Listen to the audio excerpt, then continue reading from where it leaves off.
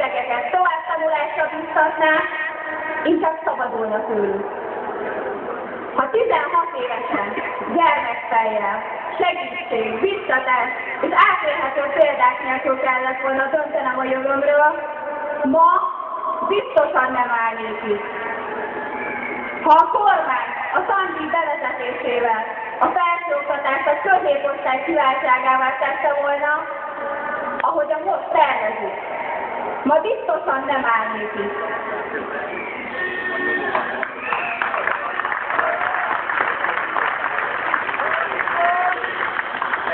Az nem összefogás, amikor egyébként gépekkel olcsóban elvégezhető munkára kényszerítjük a képzetlen és reményvesztett emberek sokaságát.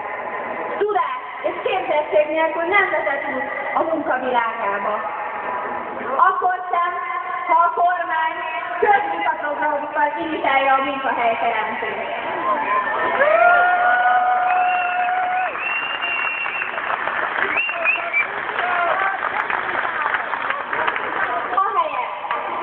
hogy képzettséget adna azoknak is, akik az ország tömeges munkanélküliséggel küzdő részére születtek, inkább resznek, nem törődönnek, munkakerülőnek bélyegzi őket.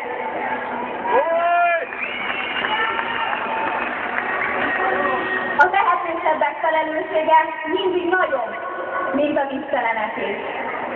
Nekünk, szegényeknek, és középosztálybelieknek, romáknak és nem romáknak. A felelősségünk azonban bizonyos tekintetben közös. Egységesebbnek és hangosabbnak kell lennünk, mint eddig.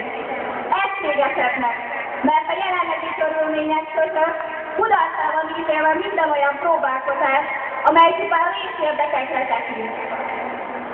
Hangosabbnak, mert akik ma a problémák feltárásának ürügyén telekiabálják gyűlöletükkel az országot, fájdalmasan népszerűek.